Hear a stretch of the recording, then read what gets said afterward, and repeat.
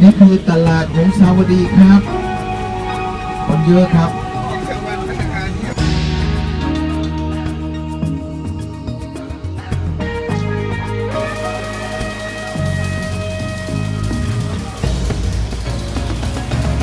ทำอะไรคะ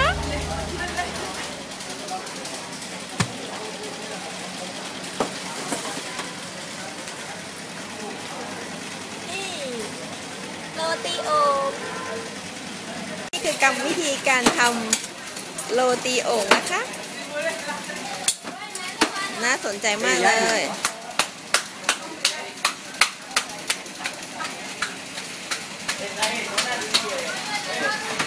นั่นเขา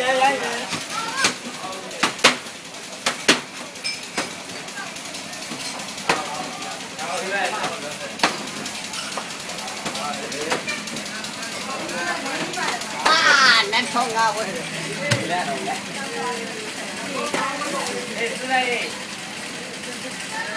nan mày á. Hãy subscribe cho kênh Ghiền Mì Gõ Để không bỏ lỡ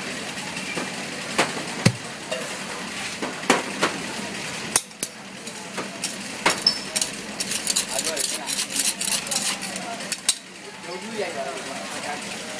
it.